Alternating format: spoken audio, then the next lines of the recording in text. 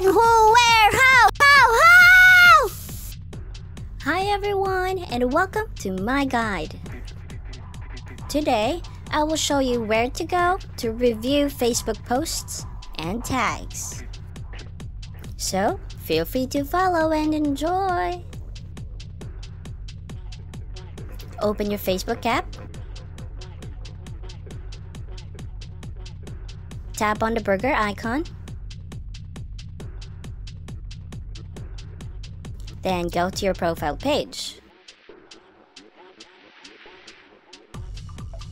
Tap on the three dot icon.